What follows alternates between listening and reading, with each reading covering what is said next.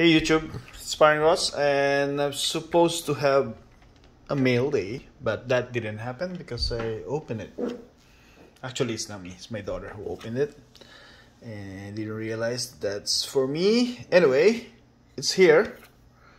I got a very beautiful card. Oh, sorry, this way. A rookie card, National Treasures, dual autograph of those two guys both LeBron James buddies. Cavaliers and Hornets. So that is, it's not Kyrie.